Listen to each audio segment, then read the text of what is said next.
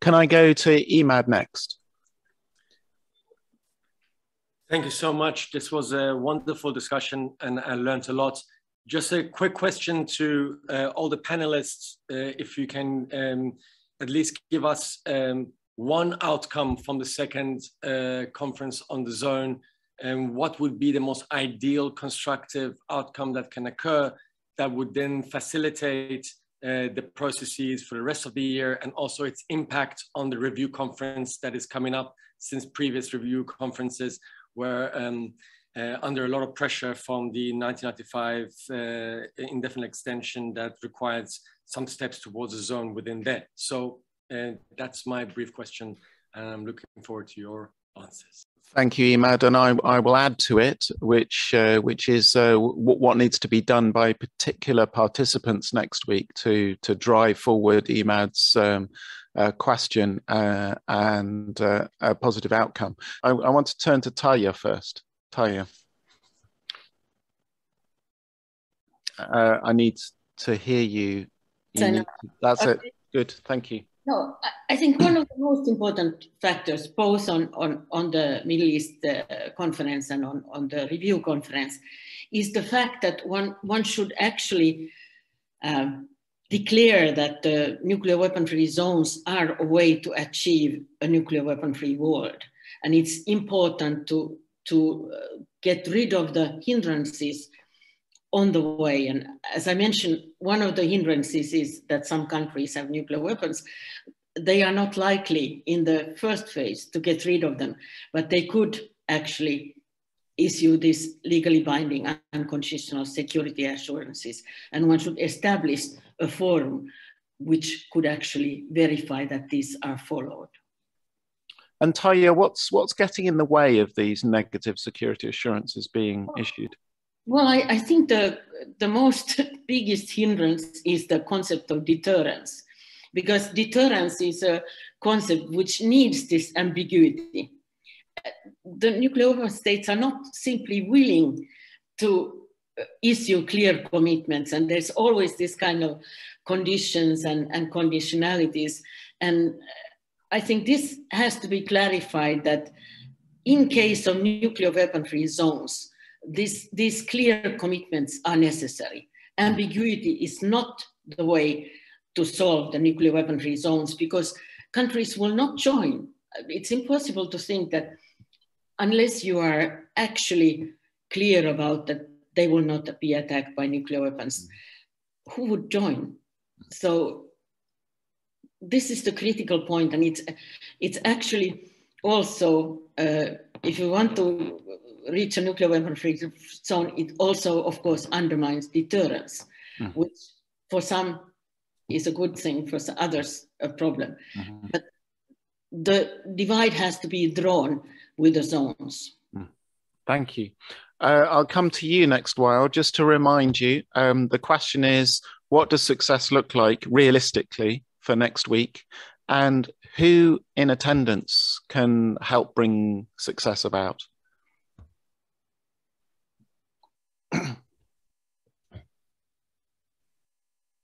Thank you, Paul. And this is uh, a very interesting uh, discussions. But let me first respond to this. Uh, uh, we're getting a little bit obsessed with the idea of having the coming conference in a week a success. Mm-hmm. What are what is the criteria of, of, of success? Uh, uh, and we, we all need to understand that to all the Arab states and even to Iran, these are uncharted waters for them uh, uh, uh going uh, uh, ahead with developing a treaty. And I don't believe they are getting enough serious support from the international community. Yes, they are to be blamed for, um, for many things, the, the, this group of, of, of states but uh, we all realized that uh, uh, this region was without any uh, security structure ever, actually, uh, uh, that held together the security principles of the region. And this is why they are divided. they don't know where to go from here. they are focused on having some sort of a political statement. and then go home.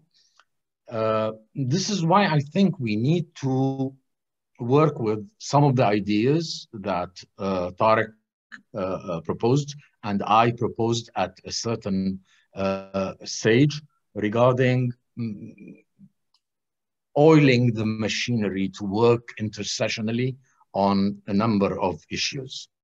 Uh, but we have to be careful because the diplomats cannot really work on the technical issues. They will work for a while and then they will leave it. Uh, these working groups we are proposing uh, need to, if they can uh, agree on a couple of working groups in this conference, to me, this is success.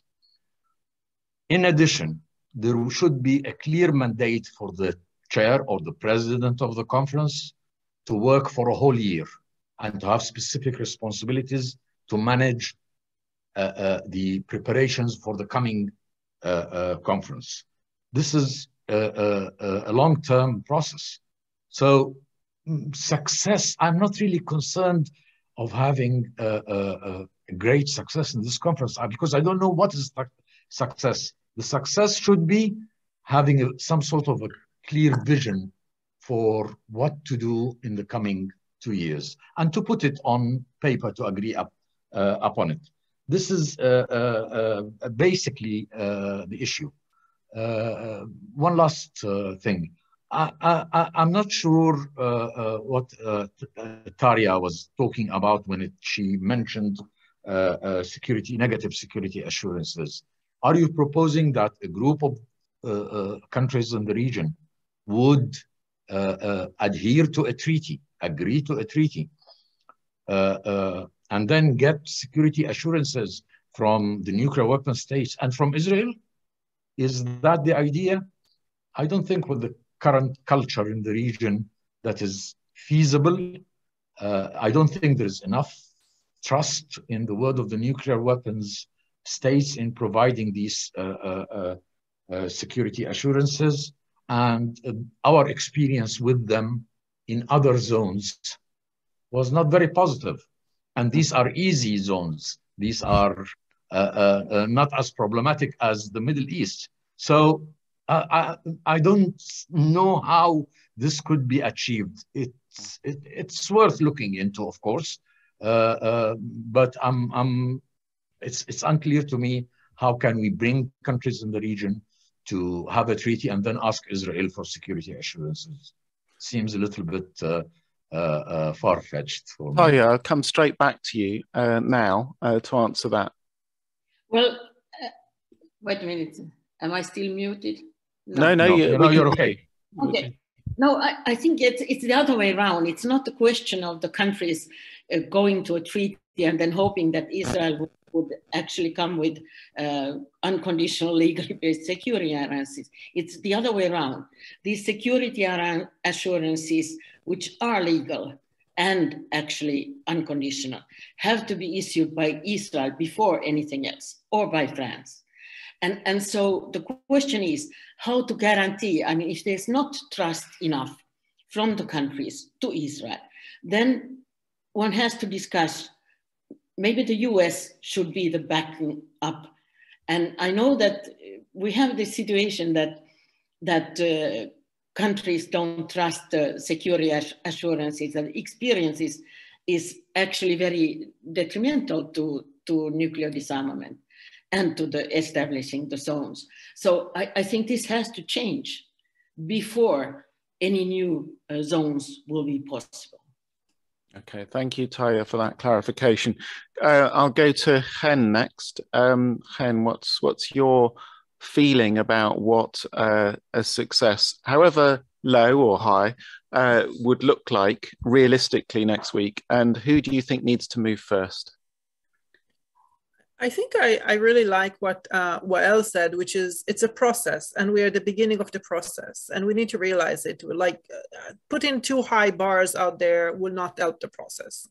We really need to understand that this is, as Wael said, uncharted territories, the, a territory that many countries in the region have never been before, didn't do not have the experience, the legal, the technical experience for. And this is a figuring out almost exercise. And it's good that it's happening. It's important that it's happening.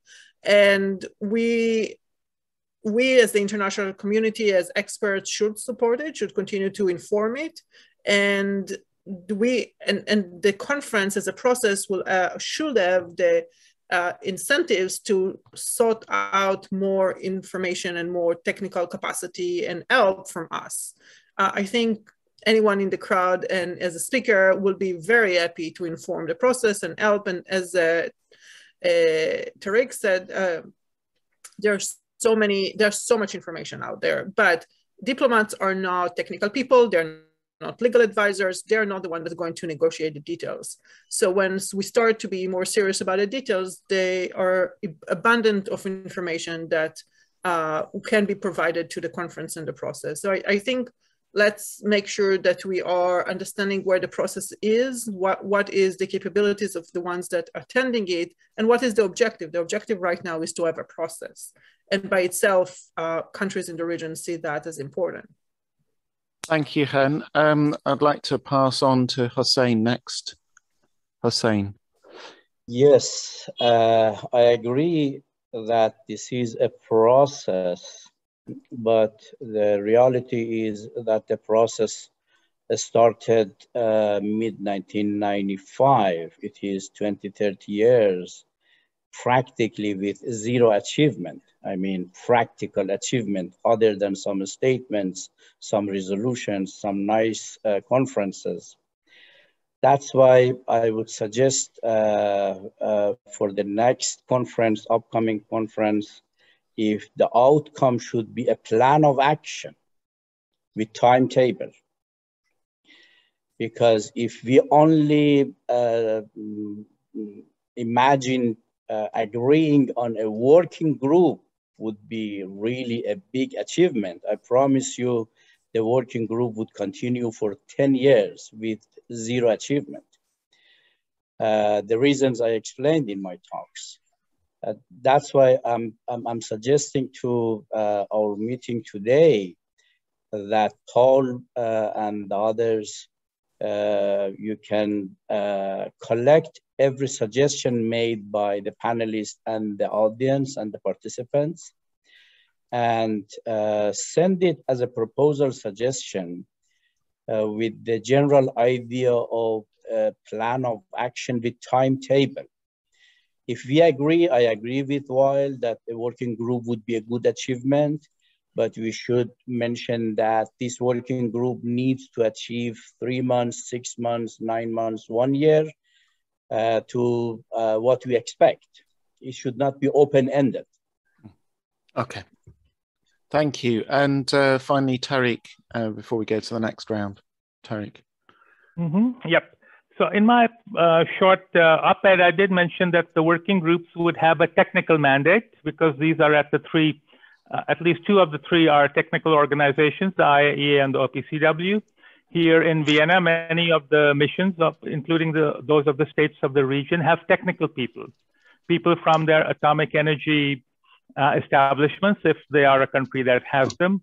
So it is possible, at least in Vienna, to, to talk about some of the modalities of verification and, and safeguards and also peaceful uses. So the working group would not be open-ended. The working group would have uh, uh, some technical uh, mandates that are broken down in, into short short bites of work. Uh, one wouldn't expect these people to be working uh, full time. My suggestion is in, in Vienna to, to nominate the UAE to chair the group, in Geneva, Egypt, in Iran, in, in The Hague. Uh, and um, الان بكلم بس انا جالس مشارك في مؤتمر sorry sorry Sorry, it's uh, Khaled Aish. Can you Can mute you him, mute? Paul? I can't. Can you- Khaled Aish.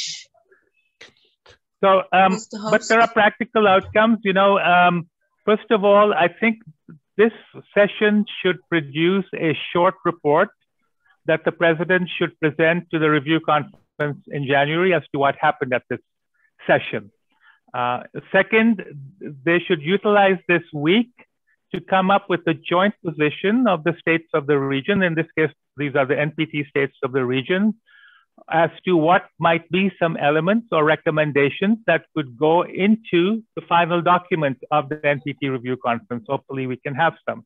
Instead of hashing it out there, this is a good opportunity where they are amongst themselves to come up with three or four action points, which can then be presented as a joint paper. Although at the moment, I know Egypt has a paper where they put up some draft elements uh, of a treaty there, but this conference needs to have a connection made to the NPT because for the 1995 review conference, the accountability factor is in the NPT. It's not in, it's not in the UN conference. This is a side element to contribute to the implementation of the 95 um, uh, resolution. We should also be thinking about a troika. So the current chair is Kuwait. So probably the next two might be Lebanon or, or Libya, if if they're willing. So instead of searching for a chair, we can, since we are going down in alphabetical order, we know what the next two countries would be for 22 and 23. And see, even if they don't nominate a person, they, they can still be involved in some sort of a troika for planning for the next year and, and the next year to have some sort of an action plan. And Paul, they could have stepping stones for the zone to be agreed, building blocks, stepping stones, and so on. Um, in Vienna, the, the mandate would be, you know, there, there are already people here from the states of the region uh, working on peaceful uses and nuclear applications. So they are familiar with these techniques and technologies. They're also familiar with safeguards. So this is not asking them to do rocket science. Uh, they can work with the IAEA for legislative assistance. This is what I was doing for the Central Asian Zone when I was at the agency, helping them with the drafting of a treaty or considering of the elements and what might be the, the various uh, meanings or interpretations. The agency can provide this legislative assistance for free. It's part of their part of the service the agency provides to, to, to member states. Uh, there also they could also discuss elements of nuclear safety and security. Uh, there are three reactors churning out nuclear electricity in the region. Uh, the two of the states are not talking to each other that have operating power units. So there are elements on which uh, Iran and the Gulf states and others are willing to talk, provided somebody provides them a table to, to do so. So again, I think this conference could, could be could provide some beginnings for that. And, and finally, I'm happy to volunteer to work with the, the Vienna diplomats here to, to, to work in some sort of a informal working group or whatever to discuss potential elements of a treaty uh, that they can uh, discuss in the context of the IAEA's uh, June board meeting, where the uh, Middle East report is presented, and then at the general conference next year, where again the Middle East issue um, is, is, is, discussed. And finally, uh, while we're suggesting the model of the CTBTO, I would suggest the model of the Treaty of Tlatelolco, which had graded accession. So it said as countries join, they can exceed. So the treaty finally entered into force only two or three years ago when Cuba was the last country to ratify. For many years, it was Brazil that was holding up. So I think there are whatever 33 states in Latin America. It didn't enter into force for all 33 of them. It entered into force in steps as countries became ready to join and to ratify. So I think it could be the same uh, for the Middle East. And then one country probably would be the last one to join, but that's fine. It would still be in force for, for, for the remaining ones.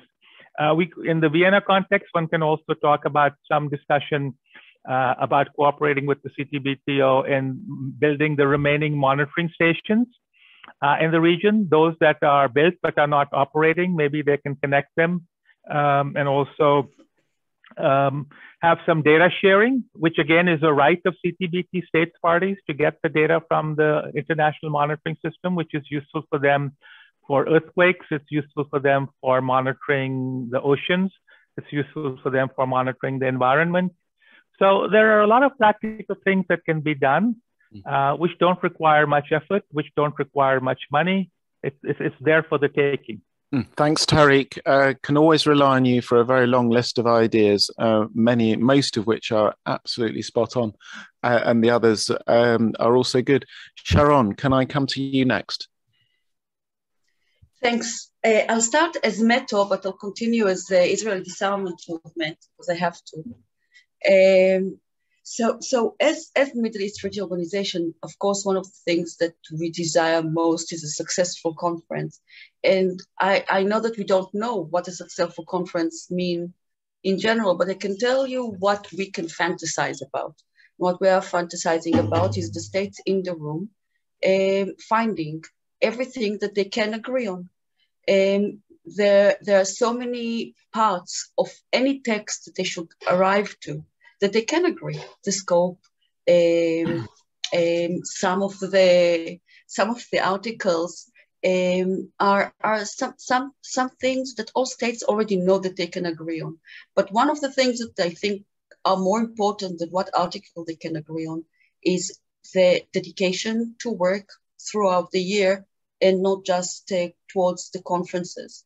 And another thing is that if we work together, civil society and diplomats, and the and the statement that came out from the last November conference was calling for uh, the collaboration of civil society. So we would really like it to be extended, this invitation this year. And another benefit of it is not just the, the, the ideas that flow from, uh, from, from experts, but also that if it's a track one and a half meeting, track two attack two meetings, then there will be Israelis in the room. It might be more comprehensive. We might, and that, and, and that brings me to, to my role as the Israeli disarmament movement. This will also help any campaign in Israel. Because right now the November conference is not in the media in Israel. Iran is in the med, in, is in the media in Israel. And when we discuss Iran in the Israeli media, it's with uh, zero knowledge. I mean, when you're talking about capacity building, we are a democracy that doesn't discuss these things. So nobody say, almost nobody say, uh, things that are very, very rational. For example, Iran doesn't have nuclear weapons because Iran didn't decide to build them. Once they decide to build them, it will be very hard to stop them from doing so. So how come our diplomacy is not going to that direction? The November conference is a great opportunity also for Israel but only a campaign in Israel, of course, will solve it. And meanwhile, yeah, there's been work towards the zone since 95, but without the belief that it's possible, it can't work. Without goodwill, it can't work.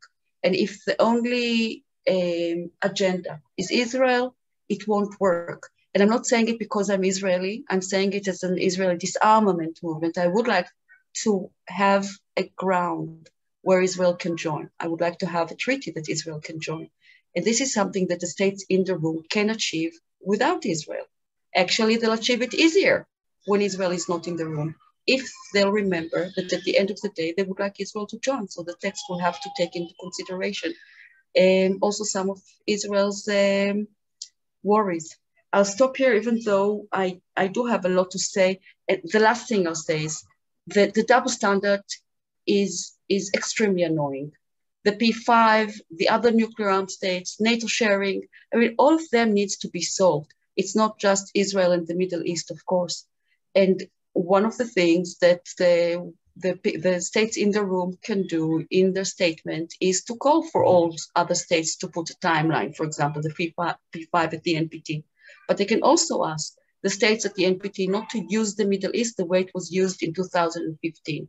There is a process this process needs to be protected. This process um, needs a place to grow. So the states can either help by hosting roundtables, for example, or really hands off the Middle East. We have a process. Let it uh, let it have its course. Thank you very much. Sharon, thank you very much. Um, I'm going to go to Leila and then Mark, and then we're going to have to zip through uh, any final comments from the panelists. So Leila, can I come to you next? Hello? Hello. Yes, we can Hello? hear you. Okay. So um, I, the question I was going to ask is being answered by the couple of the two last speakers, but I would gladly uh, just uh, put it uh, in another way. As Mr. Wael was saying that the Middle East weapon uh, mass destruction free zone is a process and it has it has to to start i would want to ask him will he uh, is he recommending that we start with the Arab League, then Iran would follow, then uh, eventually would hope that Israel at the end will uh, agree to access to this treaty. And as Mr. Tariq said, that was what uh, uh the Tlatelolco uh, Treaty did. And this is how they come to realize the zone there in the Latin America. So is it ever possible? Can we imagine that the Arabs will agree to move forward first and take the first step to initiate the zone and to sign a treaty without Iran signing it and without Israel. And then even if we, uh, as Arabs, the Arab League would initiate this process and agree to take the first step, what would be the guarantees that or the assurances that Iran would follow or that Israel eventually would follow? As we know that Israel would always uh, maintain its long corridor the policy and that uh, the Arabs in other ways sees it as only procrastination tactics and they don't really trust the Israelis. So will anybody take the first step? I'm not an expert in politics, so I'm asking this pro, for the diplomats to answer me. Then I would also want to know if the lately um, those uh, Abraham Accords, would, would those accords give any hope that the process would go any further this time? Thank you. Leila, thank you very much. Um, and uh, for the final question or statement, Mark, before we go to the panelists. Uh, thanks, Paul. Um, excellent discussion. And uh, just, um, just a couple of remarks the um, following what actually uh, Sharon said, uh, of course, we talked about a lot about the diplomatic process, you know, and uh, in a couple of years, actually, we'll celebrate 50 years of the first proposal of a zone. So it's it's been a long process, and um, as Mr. Mousavian said, not very conclusive, not very successful. So it's of course it's it's good, it's important to continue to to including as as uh, Tariq proposed to have focus on, on technical issues, verification. Uh, it's always good to, to, to, interact and to, to address all these uh, uh, questions.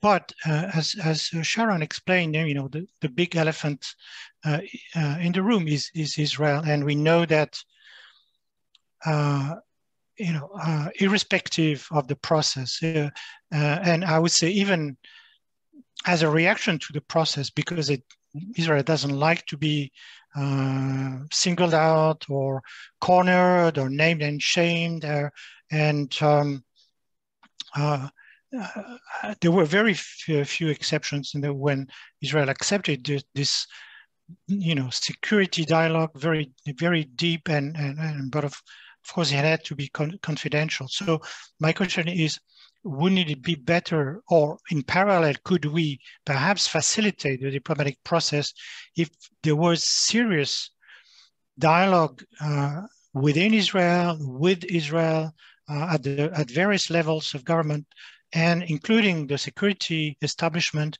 I don't know if you noticed recently the, the former chief of Mossad, uh, uh you know, admitted that it was a mistake uh, to be critical of the JCPOA and um, and of course, he criticized Trump for uh, its uh, withdrawal. So this shows that you know there, you can you have nuances uh, within the, the, the system, and of course, as as Sharon said, of course, civil society has a major role to play in uh, campaigns. But there are um, was just recalled uh, by Leila, there are new countries now with uh, diplomatic relations with Israel. Of course, Egypt and uh, Jordan had for a long time. But now these uh, new countries that normalize relations with Israel could also raise these issues, you know, uh, apart from any um, uh, political or diplomatic pressure, just to uh, perhaps try and influence Israel's threat perception, which will be, of course, a, a determining factor of its decision about nuclear weapons. Mark, thank you very much for for that fi those final comments. Um, I, will go to the panel. Just to let people know, I uh, we will finish 10 minutes late, which gives panelists two minutes each. So please be uh, as brief as you can uh, so that people's days are uh, sticking to plan. Um, Hossein, I'll, I'll come to you first. Paul, I have nothing to add other than what I suggested for a plan of action and to collect all the suggestions from this meeting and send it official for those responsible for the upcoming conference. Okay, thank you, Hossein. Um, Wael, can I come to you next? And, and particularly, I think the question from Leila is relevant around trust and uh, choreography. yes, thank you.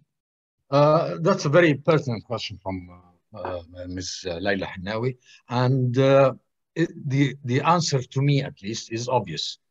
Uh, without, as was described by Mark, the elephant in the room, there can be no zone. Uh, uh, it doesn't make sense to have an Arab zone and then try to get Iran and then Israel into it. If you have the zone, they will never get into it.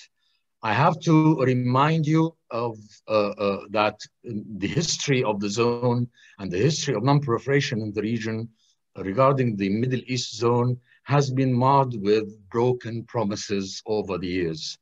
That's why there is no trust.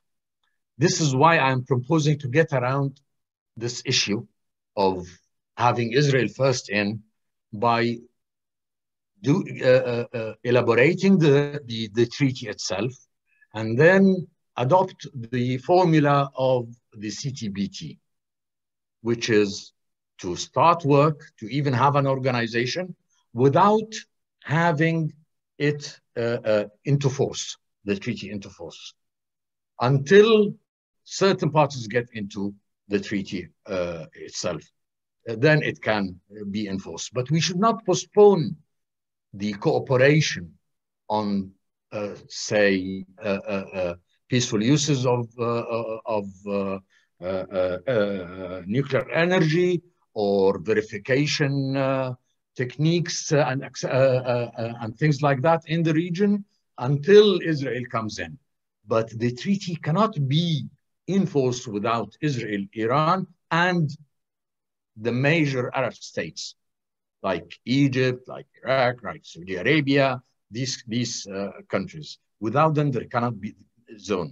And there is no such thing as an Arab zone. This is why we were very much opposed to the idea that was in the Gulf at one point, which is to have a Gulf uh, uh, uh, uh free zone uh, because it divides the region into groups, those who have and those who do not have, and things like that. It's a very confusing formula. But there are ways, innovative ways, to try to move forward and go around the political uh, mines that are, are, are, have been always there. Thank you, Wael. Um, May I say one thing? Oh, yes, go, yes, go ahead on on the plan of action uh, uh, that uh, uh Hossein proposed, of course, I we have been thinking about that uh, also, and I think it's a very good idea. Unfortunately, the conference next week cannot come up with a plan of action. Uh, they haven't worked on it. They haven't thought about it. They haven't discussed it. So maybe they can take a decision to work intersessionally on a plan of, of, of action for three years, for instance, or something like uh, along along these lines. It's a good idea, but it's a bit late in the minds of of, of in, uh, people who are conducting the the conference. Thank you. Thank you, Wael. Um, I'll go to Tarja next. Okay. First of all, uh, the main injustice of, of the situation is that the nuclear weapon states can maintain their nuclear weapons either as P5 or as Israel. And, and they don't even have to guarantee for those that have abstained that they will not be attacked by nuclear weapons. I think this is uh, really a nuclear order which is out of any phase today. I, I agree that the situation is polarized and that there cannot be an Arab nuclear uh, free zone. But on the other hand, if, if you accept it as a stepwise procedure, procedure, I think the, security guarantees, legally based and unconditional, would be necessary. And I agree, plan of action would be fine. It could expose. More, more. And also, I think the Treaty of Tlatelolco that was supposed by suggested by Tariq is a good example. But uh, Cuba joined almost 40 years after the treaty was established. Is it possible to think that it will take 40 years for the last country in the region to join? No. So time is of essence here. Thank you. Thank you, Tarja. I'd like to go to Tariq next uh, before finishing with Chen. Tariq. Yep. So I better understood uh, why now when he gave his uh, model of the CTBTO. So I fully support it. And so we already have the METO. And I think maybe we can bequest it to, to the states. But, you know, a, a nuclear weapons free area already exists in the Middle East, except for Israel. Iran and all the other Arab states are in the NPT. Some of them are in Pelindaba. They all have IAEA verification. Uh, so what they are basically lacking is, is what Wael said. So at least on, on the nuclear side, they could set up uh, some sort of an informal entity or an organization to start with, and then they can build it up and bring in the parts of uh, BW, CW, and delivery systems as as things move. Because at least they have a basis to start with uh, here in Vienna. Thank you. Thank you, Tariq. And we began with you, Khan, and we finish with you, Chen. So you've got Thank two you. or three minutes.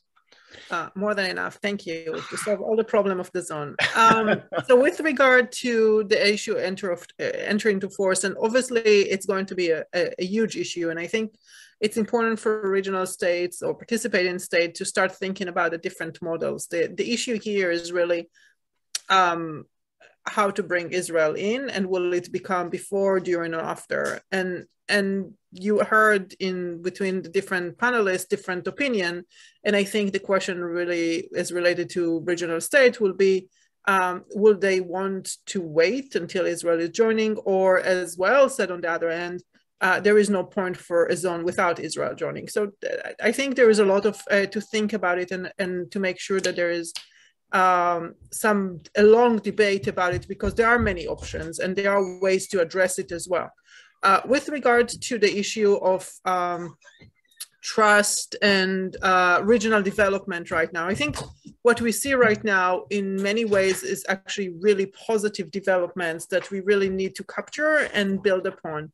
Um, I, I, would say in some ways the uh, US attempt to withdraw from the region created situation where regional states are trying to uh, take security on their own end and it's created two, I would say, trends that happening in parallel. One is uh, reconciliation or trying at least to reconcile to reconcile and to negotiate in peaceful ways. So you see the Saudi-Iranian negotiations, uh, we see the Qatari reconciliation, etc., and, and the Abraham Accords. On the other end, because of the US withdrawal, there will be attempt, and we see it on the conventional side for, for armament which could spill over to also other weapon of mass destruction. And those two trends can happen at the same time and live together. So the question is how we capitalize on the positive aspects and prevent the negative ones. And that's an excellent question to finish on and an open question to everybody who's interested in this area. Uh, thank you everybody for participating. Sorry we ran over, my fault entirely, um, but uh, uh, we will be sending out the um, the recording to everybody who who uh, registered. So you should be getting that in the next couple of days. Uh, do encourage others to uh, to listen or or to um, view if you can. so with that, I think we'll finish.